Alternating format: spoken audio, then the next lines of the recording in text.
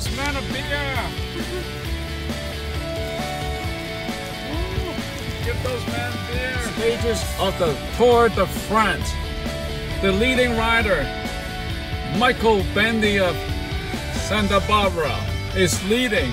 And oh no, that's actually another person in the front. That must be Canapari.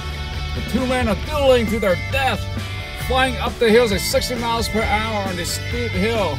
My car could barely keep up with them. I'm going at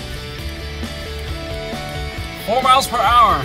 Oh, oh man, they're breaking away. Oh no, oh god, too fast. The leader, Canapari, seems to have broken away, but the paparazzis are all over, taking videos and pictures and following him. I just gave him the finger. Oh. Oh, oh, something's wrong. Okay, let me check. Emergency.